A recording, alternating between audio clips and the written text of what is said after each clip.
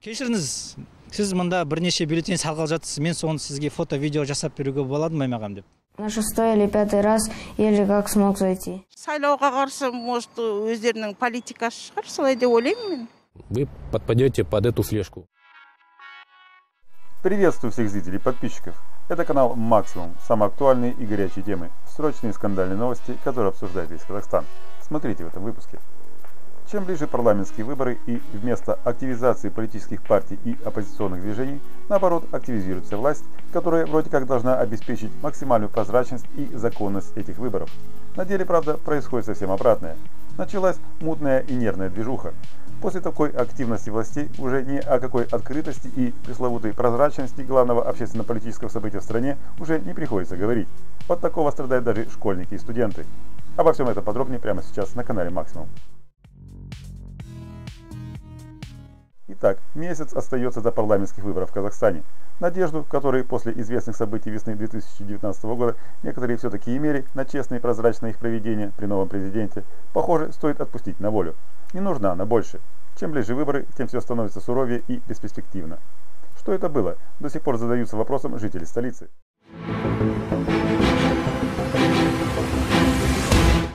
6 декабря власти Казахстана заявили о начале киберучений в Нур-Султане. Последовали перебои с доступом к некоторым популярным зарубежным интернет-ресурсам. Жители столицы не могли зайти в такие соцсети, как Facebook, на платформу YouTube и другие сайты. Дошло до того, что операторы связи отправили абонентам смс о том, что необходимо установить преснопамятный сертификат безопасности. Вот только не говорите, что все это не связано с предстоящими выборами. В воскресенье 6 декабря жителей столицы уведомили о проведении учений под названием «Кибербезопасность Нурсултан-2020» для испытания сертификата безопасности.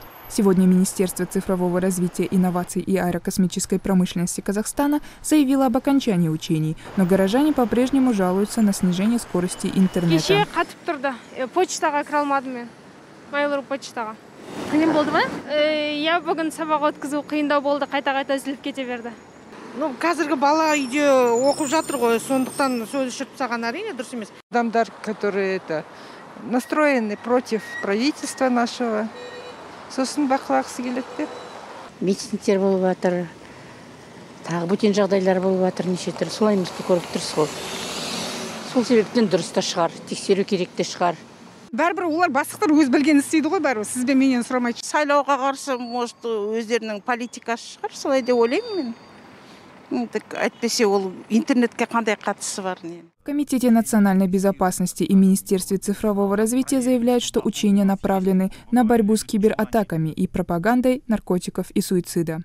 Именно эти учения немного у нас э, оттянулись к концу года. И, соответственно, к концу года э, стало уже известно о том, что будут, провести, будут проводиться выборы в Казахстане 10 января.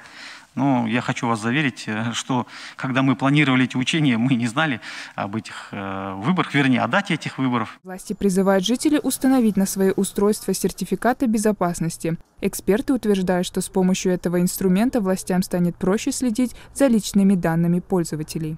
Этот функционал он позволяет э, просматривать весь трафик с вашего телефона к э, запрашиваемому исковому сайту при получении или же получении какого-либо файла, либо подключении интернета к сети. Сначала трафик будет идти через этот сертификат, и только потом лишь э, к вашим там сайтам, мессенджерам, почтовым клиентам и так далее.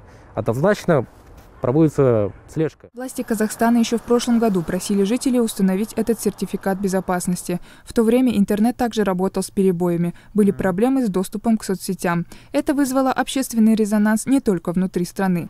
Мировые интернет-компании Google, Apple и Mozilla заблокировали казахстанский сертификат безопасности, заявив о необходимости защитить своих пользователей. В Министерстве цифрового развития сегодня предположили, что казахстанский сертификат блокируют по политическим мотивам. Руслан Абдыхалыков сказал, что в странах НАТО эти интернет-компании ничего не блокируют, а казахстанский заблокировали из-за того, что страна не входит в НАТО, так как никто не хочет, чтобы казахстанская служба могла работать так же эффективно, как зарубежная.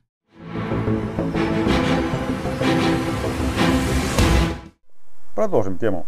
Конечно, интернет это не горячая вода или электричество. Про их перебои коммунальщики, если это не экстренная авария, сообщают заранее. Здесь же ничего подобного не было. Людям не сообщили и поставили перед фактом. Дескать, это были масштабные киберучения, из-за чего у большинства и пропал доступ в интернет. Говорить о том, что в период пандемии увеличилось количество людей, у которых интернет остался единственным способом заработка, я думаю, вам даже и не стоит. Особенно пострадали студенты и школьники. Онлайн-магазины тоже подсчитывают убытки. Но эксперты заверяют, все это ради нашей безопасности. 6 декабря в Нур-Султане проводятся киберучения. Такое сообщение накануне получил, наверное, каждый владелец смартфонов. Пользователей вновь просили установить сертификат безопасности. И пока одни предались панике, другие решили переждать и не торопиться с установкой ПО. Как результат, сегодня социальные сети переполнены жалобами останчан на проблемы с интернетом. Труднее всего пришлось школьникам. Их учеба сейчас напрямую зависит от доступа в интернет. Многие из-за перебоев сегодня пропустили важные занятия. Правда, некоторым все-таки повезло. После многочисленных попыток связь с учителями восстановилась. Я полурока не мог зайти, но учительница сказала все равно пытаться, даже если не получается. На шестой или пятый раз еле как смог зайти.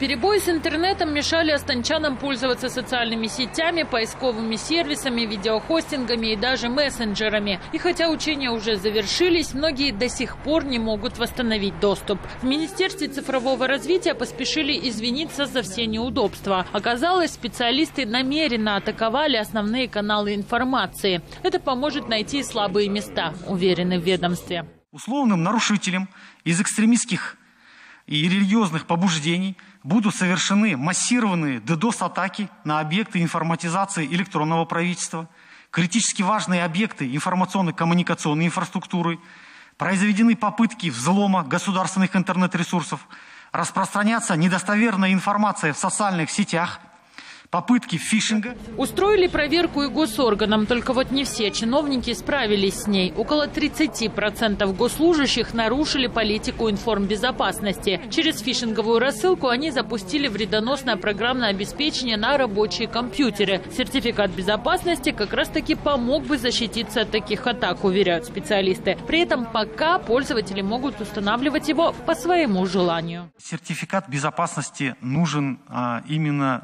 для самого гражданина, чтобы как можно меньше проблем у него было с доступом в интернет. Для этих целей и будет задействован сертификат безопасности. Причем, если отказаться от его применения, технически невозможно будет сохранить функционирование иностранных интернет-ресурсов, на которых условным нарушителям будет распространяться противоправная информация. Но не все пользователи согласны устанавливать сертификат безопасности. Придерживаются этого мнения и некоторые эксперты по защите персональных данных. Елжан Кабышев уверен, что делать это казахстанцам не стоит. Программа может следить за действиями пользователей. В защите полученной информации специалист тоже сильно сомневается. Безусловно, так как он анализирует ваш трафик, э, включая ваши персональные, персональные данные, э, которые вы передаете, то, безусловно, будет проводиться слежка. Но вопрос, каким образом это будет проводиться слежка, а какие э, а, должностные лица, полномоченные органы ответственны за это. И, безусловно, устанавливая корневой сертификат, ваше соединение оно было, она будет читаемым и вы подпадете под эту слежку. Эксперт отмечает, что сейчас по законодательству ни госорганы, ни провайдеры не имеют полномочий принуждать казахстанцев устанавливать сертификаты безопасности на свои устройства. Тем же, кто все-таки скачал программное обеспечение, можно легко его удалить.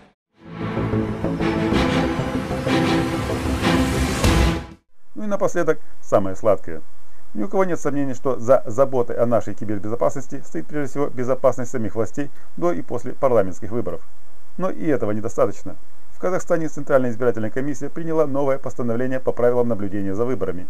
Отныне в документе прописан запрет на фотосъемку на участках и онлайн-трансляцию с избирательных участков. Расширен и список требований к наблюдателям. Эксперты считают, что все эти изменения мало соответствуют законам республики, а некоторые вообще им не соответствуют и грубо нарушают.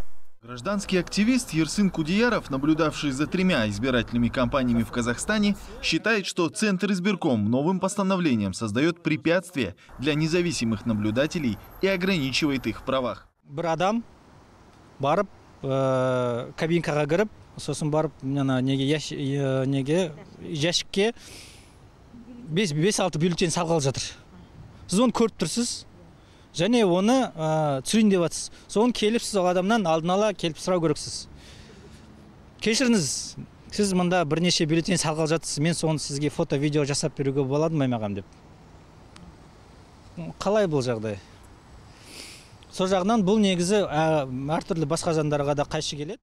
Кудеров говорит, что правила наблюдения не первый раз меняют непосредственно накануне выборов. Но новое постановление он называет крайне репрессивным. Наблюдателям запретили делать фото и видеофиксацию избирательных участков. По словам активиста, документ ограничивает также права неправительственных организаций. Отправлять наблюдателей смогут только те, у кого такая деятельность прописана в уставе.